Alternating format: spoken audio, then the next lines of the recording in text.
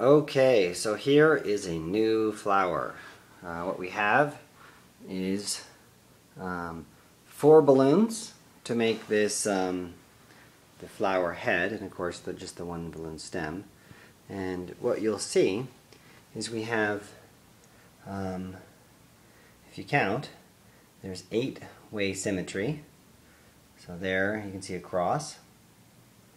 And um, it's double layered, and so if you look, um, it's quite thick here.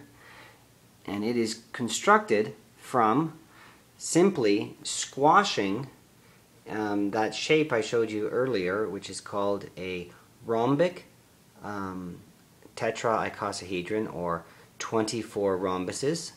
And so the only thing I've done is I've taken the upper hemisphere and squashed it inside and then the smaller bubbles here, I've double bubbled them, so I've just twisted them together. And so that's every other one here. Twisted them to make double bubbles, and that connects it together.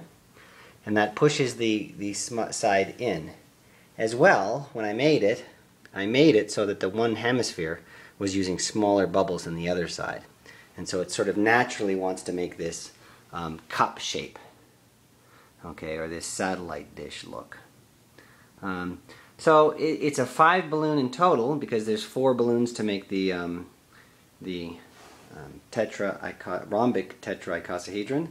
Um, so I don't know. You might find you might find a different use for this um, sort of um, design, but it's kind of it's kind of nice. And uh, once again, you see that I have put it in a wine glass um, for weight on the bottom, but. Uh, so I hope you enjoyed that, um, and I'll be posting the video where I actually made this one um, very shortly. Cheers.